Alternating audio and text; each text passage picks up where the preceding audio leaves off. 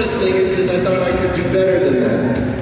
And then I wrote some songs that were better than that. And then I went back and looked at it and I went, you know what? You know what? Your body is a wonderland. You can come along too. I'm just a dope pop song.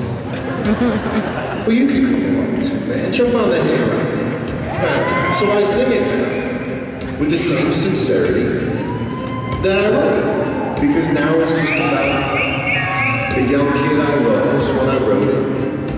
And I sing it for the young kid who's not here anymore. I think a couple of lines are absolutely stupid.